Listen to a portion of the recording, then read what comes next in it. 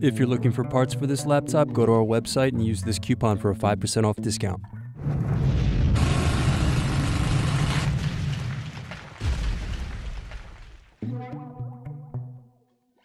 First unscrew, then use fingers to remove base cover.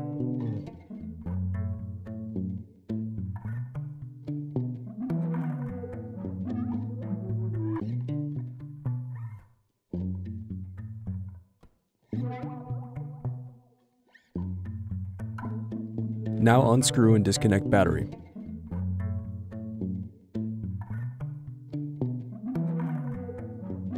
Next, separate clips and remove memory.